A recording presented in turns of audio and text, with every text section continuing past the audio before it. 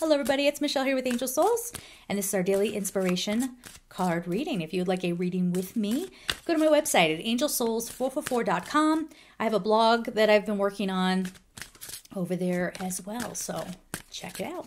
What do we have here? We have. Oh, my shoulder cracked, but Orpiment success. I love when this card comes out because if we just change our thinking, we won't sink into a narrative that says, "Oh no, the economy, oh my." You know, actually you know, it's it's not you're not a bad person if you don't handle these things well.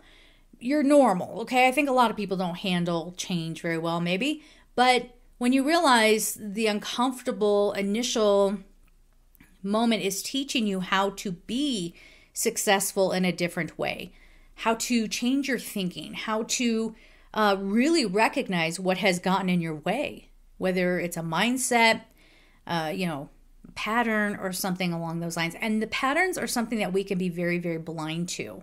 I've had so many clients come in and they're either blaming someone else or like to me being like a, a set of fresh eyes and coming at this with some fresh energy, I'm picking up on what the pattern is and trying to reflect it back to them and sometimes I get a very angry response.